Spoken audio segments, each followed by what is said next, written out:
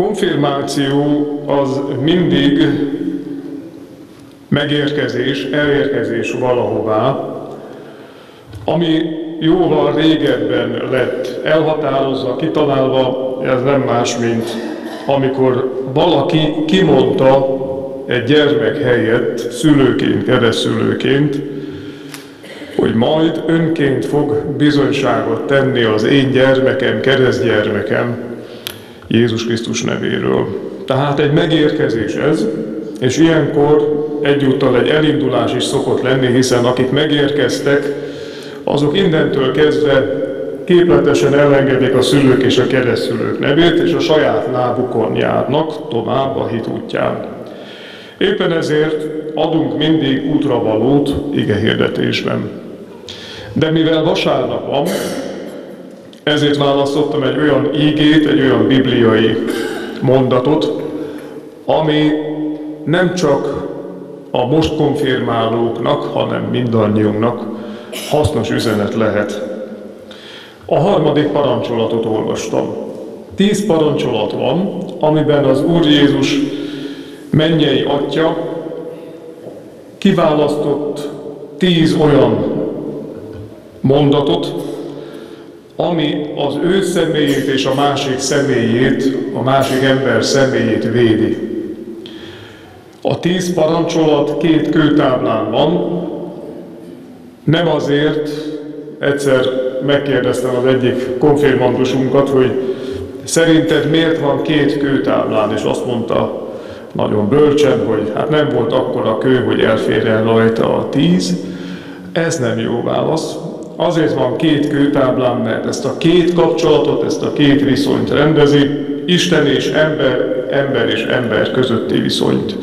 Az is jellemző, hogy a két kőtáblából az Isten és ember közötti viszonyból az első kőtáblán négy parancs van, tehát Isten a saját maga személyének a védelmét négy parancsal határozza meg, míg a másik embernek hat parancsban fűzi föl az Isten a védelmét.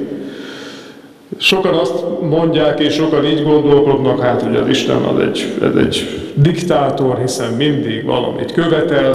Hát azért halljuk, hogy nem, hiszen a hat parancsolat az nyilván több, mint a négy. Ember és ember közötti kapcsolatot még inkább szerette volna az Úristen mederben tartani. A harmadik parancsolat az első kőtáblán van, és Isten az ő nevét védi. Az első, amit gondolatként a szívetekre helyezek, hogy Istennek van neve. Istennek a neve Jahve. Szó szerint így hangzik, aki él, aki örökké él, aki mindig van, soha nem múlt, mindig van, mindig jelen van. Jahve, ő, aki él, ő, aki érted él, veled él. Istennek tehát van neve, és ez egy jó hír, mert akinek van neve, az nem no name, nem névtelen, nem semmi. Akinek van neve, az személy. És ha valaki személy, akkor lehet vele társalogni. Ez a jó hír. Nem személytelen ismerős, hanem személyes ismerősöd lehet.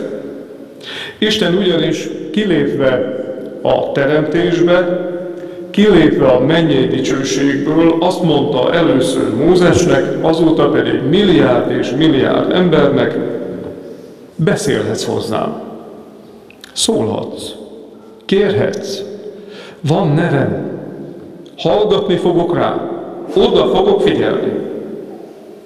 És ez a második jó hír, a második evangélium, hogy Istennek nem csak neve van, hanem használható a neve. Felhasználható mire? Arra, hogy felidézzük őt. Ha valakit én felidézek, a neve, nevét emlegetem, akkor oda teremtem az életembe. Vannak itt most közöttünk, akik gyászolnak, akik elvesztettek valakit, de nekik is elmondjuk, tartsák elevenen az emlékezetükben azt, aki már nem lehet velük, idézzék a nevét. Emlegessék nyugodtan. Szólítsák is meg. Miért ne? Hát él. A lelke él mindenkinek. Tartsuk elevenen a nevek említésével, amikor Petőfi, Sándor, Petőfi Sándorról beszélünk. Amikor Adi Endréről beszélünk, akkor mindig hozzátesszük Petőfinek a habitusát, Adi Endrének, a gondolatvilágát, a történetét, megelevenedik minden ember, akinek a nevét emlegetjük. Azt mondja Isten, használjátok a nevemet. Elevenítsetek meg. Legyek élő a számotokra. Szóljatok hozzám. Használjátok Isten nevét. Mert a név sohasem üres, sohasem egy keret.